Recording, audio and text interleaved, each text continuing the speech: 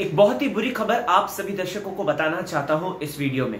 दीपिका कक्कड़ जो कि big boss season 12 की विजेता हैं, जो कि अमेजिंग एक्ट्रेस हैं और टेलीविज़न जगत का नामी, नामचीन चेहरा है, उनके ससुराल से बुरी खबर आ रही है। आइए इस वीडियो में आपको राहुल भोज बताएगा कि आखिरकार क्या है माजरा।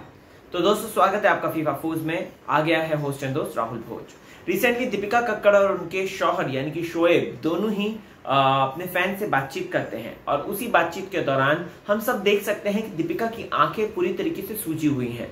दरअसल दीपिका कक्कड़ के ससुराल में इस वक्त टेंशन चल रही है दोस्तों, और आप लोगों को बताना चाहता हूँ तो शोएब की नानी भी अब हॉस्पिटलाइज हो चुकी है। जी हाँ रिसेंटली शोएब के पिताजी यानी कि दीपिका कक्कड़ के ससुर को ब्रेन स्ट्रोक हुआ था, और उसके बाद जाके उन्हें हॉस्पिटल में एडमिट कर दिया गया था, जहाँ पर इस वीडियो के दौरान शोएब ये बात कहते हुए नज़र आते हैं कि दो दिन बहुत ही ज़्यादा क्रिटिकल है पिताजी के लिए। और वहीं इसी बीच दोस्तों, ये भी खबर आई है कि दीपिका कक्कड़ की जो सास नानी है, नानी सास है जो, वो भी, उसकी भी हालत खराब हो गई है। उन्हें एज रिलेटेड इश्यूज़ हो रहे हैं हीमोग्लोबिन की कमी से लेकर खाना नहीं खा रही है और बहुत सारी चीज़ें।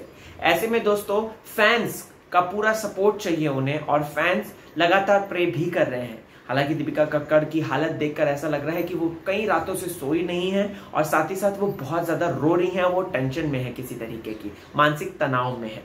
हम तो बस प्रे करते हैं कि दीपिका कक्कड़ जो है ठीक हो जाए, उनके परिवार में सारा जो माजरा है, जो पूरा मुद्दा है, वो ठीक हो जाए, अंकल जी की तबीयत ठीक हो जाए नानी की भी तबीयत ठीक हो जाए, बस यही कामना है। दोस्तों, आपका क्या रिएक्शन है, ज़रूर बताएँ और आप भी अपनी दुआएँ दीपिका को दे सकते हैं। चलता हूँ मैं, अपना ख्याल रखें।